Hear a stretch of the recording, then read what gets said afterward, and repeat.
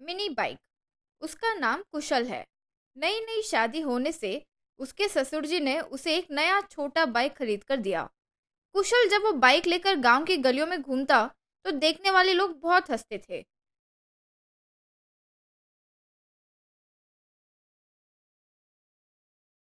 उस शाम कुशल अपनी पत्नी से अरे सुनो ना तेरे पिताजी के दिए बाइक को जब गाँव में लेकर जाता हूँ तो सब हँसते हैं मेरे ऊपर।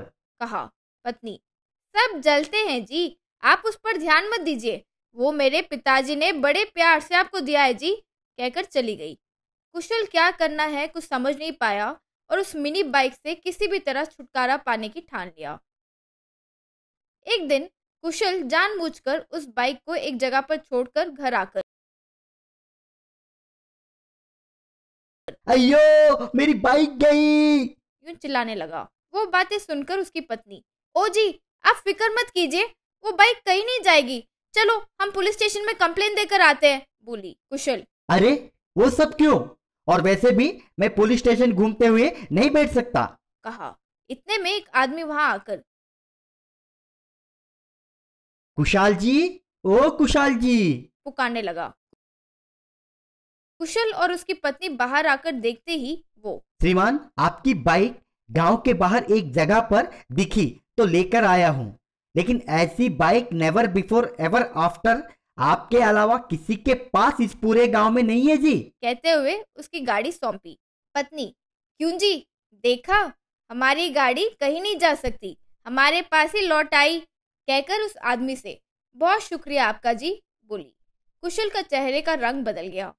अगले दिन कुशल जब पेपर पढ़ रहा था, गांधीनगर में हुई बाइक की चोरी।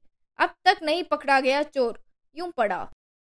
यस अब मैं अपनी मिनी बाइक को गांधीनगर में छोड़ दिया तो चोर आकर मेरी बाइक चोरी कर लेगा। सोचकर बाइक पर गांधीनगर जाकर वहाँ मंदिर के पास छोड़कर भगवान की ओर घूमकर। हे भगवान कोई भी हाल में मेरी बाइक चोरी हो जाए ऐसे कुछ करो ना। कहकर हाथ जोड़कर वहाँ से चला गया। जैसे सोचा था वैसे ही कुशल की गाड़ी चोरी हो गई। ये बात जानकर कुशल। हे जिंक टिका जिंक कहते हुए नाचने लगा। सबको मिठाई बांटा। कुछ दिन बाद एक आदमी कुशल के पास आकर श्रीमान ये लीजिए आपका बाइक मेरी पूरी ज़िंदगी में ऐसी बाइक मैंने कहीं नहीं देखी। एक लीटर को कम से कम एक मीटर का माइलेज तक नहीं दे रहा है। ये गाड़ी नेवर बिफोर एवर आफ्टर है जी। कहते हुए कुशल के आगे हाथ जोड़कर चला गया। उस रात कुशल जितनी भी कोशिश करूँ ये बाइक से छुटकारा ही नहीं मिल रहा है। कल इसे किसी भी तरह नदी में डुबा देना होगा।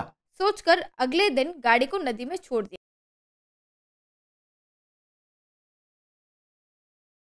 हम्म अब ये बाइक फिर कब नहीं दिखेगी? सोचते ही पानी से उसकी बाइक ऊपर आते देखकर वो चकित रह गया। ये कैसे हो सकता है? कभी किसी ने बाइक को तैरते हुए देखा है क्या? यूँ सोचते सोचते करीब जाकर जब गौर किया तो उसने देखा कि एक मगरमच्छ उसे नदी के किनारे लाकर छोड़ दिया। कुशल। मैं भले जितनी भी कोशिश करूँ बाइक से छुटकारा पाने की, वो मेरे पास ही घूम कर आ जाती है। ससुर जी, पता नहीं आपने इसे किस प्यार से खरीदा कि ये मुझे छोड़ ही नहीं रही है?